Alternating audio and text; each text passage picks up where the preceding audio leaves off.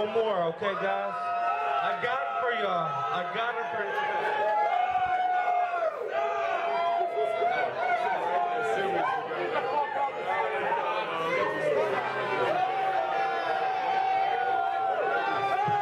Does, does this guy work here?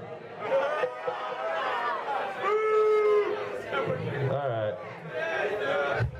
Thank you. Thank you. Thank you. Thank you, everybody. Seriously, this has been so much fun tonight. You've been amazing.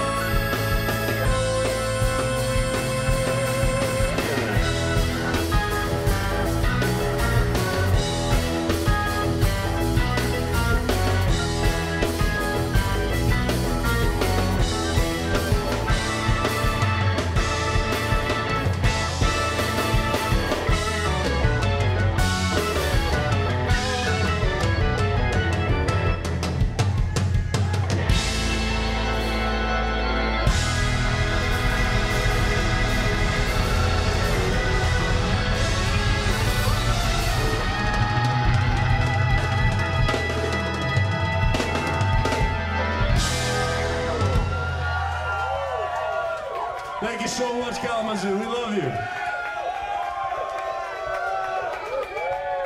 Hope to see you guys soon. Thank you so much.